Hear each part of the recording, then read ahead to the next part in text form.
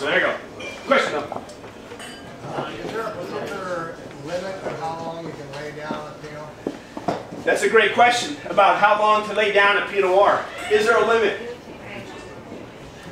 Generally, Pinot Noirs, because they have less tannin structure than Cabernet Sauvignon, tend to not age as well.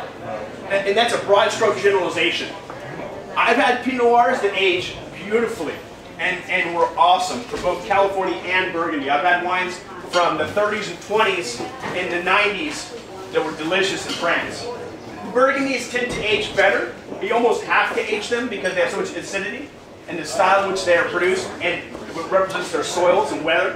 Californians, in my opinion, don't age as much, but I can tell you at one of the World Pinot Noir dinners I was at, one of my, one of my hobbies is collecting old Pinot Noir from California. And I happen to have a few 1967 Pinot Noirs from Robert Mondavi Winery in Oakville. And so I had a few of those. I pulled them out. They're usually salad dressing, right? At this point, anyway. And they're pretty. It can be really rough. That old California Pinot Noir. I tasted it blind to a gentleman named Allen Meadows. Allen Meadows has a, a company called BurgHound.com, and he's one of the foremost authorities, in my opinion, in the world on Burgundy. He's in particularly North America. He's an American Californian. And his wife worked at Mondavi, and I worked at Mondavi, so it was one of these things. I went to his table. I poured that 1967 Pinot Noir from Oakville to. He loved it, tasted him blind. He brought it to Christophe Roumier and a whole group of a round table of only French-speaking winemakers from Burgundy. They all guessed late 80s Chablis Chambertin from France. And when I showed them the bottle, they lost it. They were like, they've never seen that. So sometimes it can work. Not most of the time.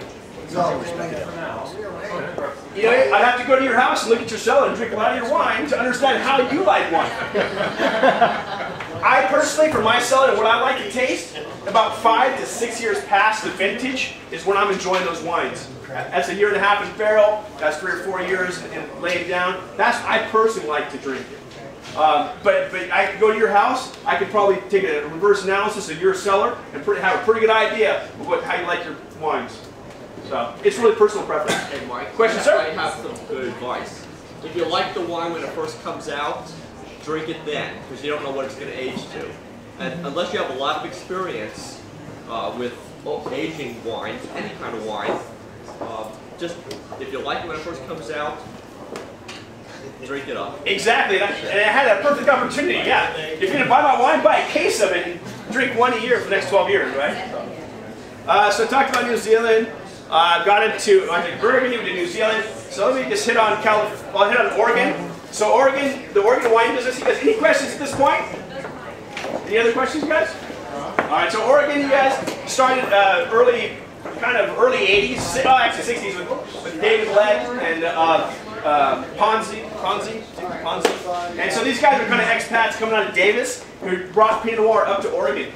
Dick, uh, Erath, Ponzi, those are the old school crowd. They took some interesting cuttings from, from uh, UC Davis, took them up to Oregon. They were just kind of guys who wanted to move out to the country and did a great job with it.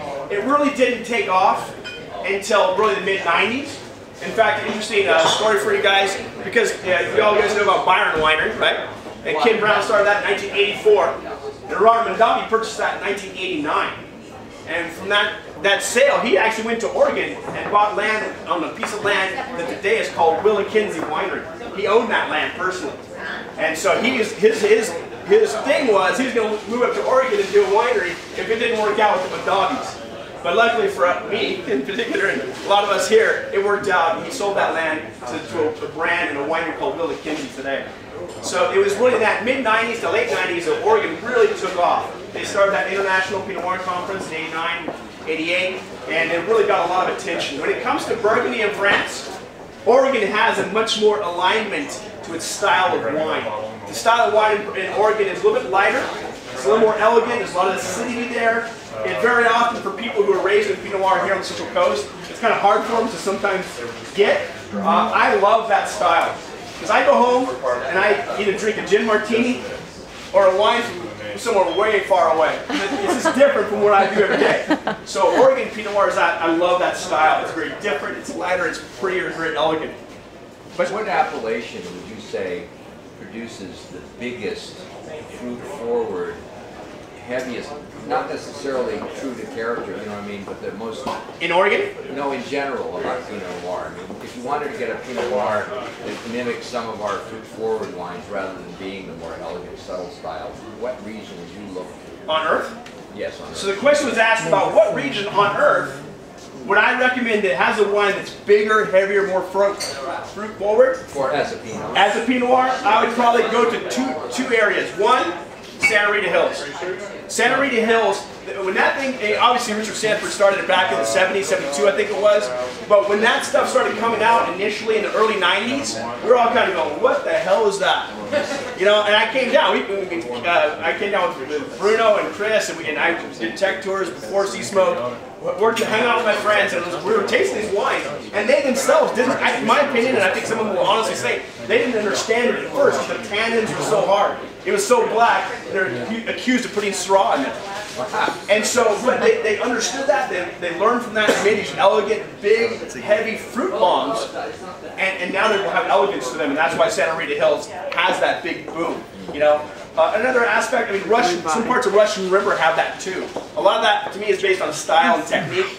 Um, you look at Sonoma Coast, you know, those can be big, but that, I don't, again, I don't think that naturally comes from place. I really think of the Santa, uh, Santa Rita Hills as the biggest kind of look to that. Some of the Edna Valley stuff, like at Domaine Alfred, when I was at Domaine Alfred, Right. that wine under the cover of Spectator and all that love, that's a style of wine that people love. They're big and fruity, and, and so when done correctly with the techniques and certain vintage and hell, a lot of luck, you know that. Um, that's If an if area you were going to say somebody in Russian River that would make more of that style, you could get anybody come to mind? Oh yeah, big heavy, you know, forward style like that would be uh, Martinelli.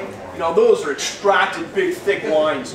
Uh, you know, uh, you know Williams Selyem. You know, Kosta Browne. Those are wines that are, are wonderful wines. They're beautiful wines. They're a new style of wine, which actually brings me to California. I'm trying to get through what I was told to do. Sorry. So that's right. So, uh, so Pinot Noir, you know, when you, when you move to California, for me, it's been an interesting study my whole life to understand and actually have the good fortune to get into it. Remember, I was drinking, when I first started, you know, I was drinking these 89s and 88 Pinot Noirs in California, and man, they really sucked.